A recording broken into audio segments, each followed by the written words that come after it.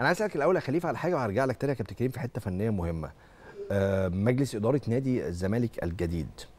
لو انت آه، متوسم في خير وكلنا متوسمين ان شاء الله يعني متوسم في خير نفسك مجلس الاداره بتاع نادي الزمالك دوت لما يبقى احلامك حتى كزملكاوي نفسك يعمل إيه الفترة القليله القادمه أو القصيره القادمه والفترة طويله الامد؟ أنا شخصيا نفسي احس ان الزمالك بيمشي على الطريق الصحيح.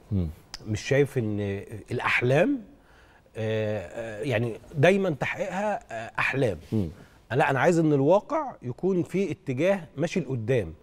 آه الأحلام صعبة شوية التحقيق. يعني أنا واحد زي ما أقول لك الفرقه الرياضية عايز النجم الفلاني والنجم العلاني والنجم كذا كذا بس لازم يبقى في إدراك للمشاكل اللي موجودة في في النادي.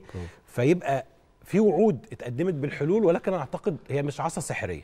أعتقد إن اللي مطلوب إن أنا كمشجع للزمالك أو غيري مش مشجع للزمالك أو أي حد يبص في على خريطة الزمالك يحس إن النادي ده بيمشي على الطريق الصحيح للأمام سواء على عمل مؤسسي عمل اقتصادي لأن الاقتصاد والثورة الإنشائية بيصلحوا الفلوس الفلوس هي اللي هتعمل فرق رياضية جيدة. فأنت كل خطوة الناس وكل الجماهير تحس إن كل لحظة بتعدي النادي بيمشي لقدام. مش مهم يكون بيعمل قفزات ولكن المهم يكون بيمشي في الطريق السليم.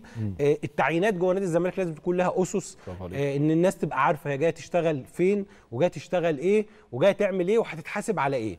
آه، فأعتقد إن اللي مطلوب ده مطلوب في شكل عام إنما بقى كفرق رياضية أعتقد إن محتاجة خطوات مظبوطة وإن الناس تعرف. يعني مثلا بالنسبة لموسم الزمالك الكروي مثلا أعتقد من بداية الموسم صعب جدا إن الزمالك ينافس على الدوري. يعني طبعا الكلام ممكن يكون مش على هوا كتير من جماهير الزمالك ولكن لو تبص من من دي 1 الزمالك بيمتلك في قائمته اثنين لعيبة بتروح لمنتخب مصر تلعب والثالث بيروح علشان خاطر آه، اللي هو الحارس الثالث بيروح يشارك كده يعني. فما فيش فرقة بتاخد دوري وهي عندها في كل قوامها أجانب ومصريين وكل القوام كده اتنين لعيبة دوليين. فيبقى الزمالك عنده هدف تاني البطولة اللي هي ما فيهاش فرق قوية آه، اللي هي الكونفدرالية. فالزمالك يبقى عنده الهدف ده. طب عشان تحقق الهدف ده محتاج تدعيمات؟ آه محتاج تدعيمات. تتناسب مع الهدف ده. آه، وتقدر تكون ده اللي انت بتشتغل عليه وبتشتغل على تحسين الفريق. تحسين الفريق بقى إن أنت تتخلص من العناصر اللي هي أقل جودة من النادي وتبتدي تعمل upgrade بالعناصر دي ومش لازم ال upgrade يتم في في فترة انتقالات واحدة. بس الناس تحس في أول فترة انتقالات إن الفريق بيمشي على الطريق السليم والطريق الصحيح. بس عظيم جدا.